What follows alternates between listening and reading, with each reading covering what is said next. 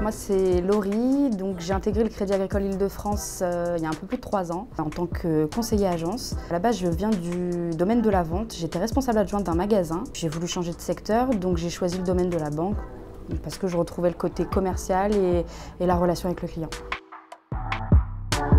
Alors, c'est un poste qui est très varié. Je vais mener l'accueil, la gestion des valeurs. Je vais développer et fidéliser mon portefeuille euh, client.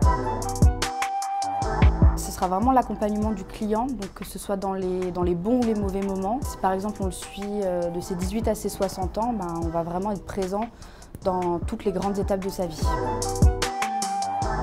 C'est une cliente qui, qui, rencontrait de grosses difficultés financières suite à un événement de la vie. Grâce à notre accompagnement et sa volonté, ben, elle a réussi à retrouver une stabilité financière et se consacrer ben, de nouveau à ses projets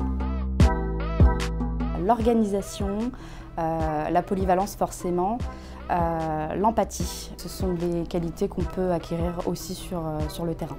Et sans oublier la gestion des priorités. Avant ma prise de fonction, l'image et les valeurs du Crédit Agricole m'ont beaucoup plu. Dès mon intégration, bah, j'ai su apprécier l'esprit d'équipe et l'accompagnement de mon agence.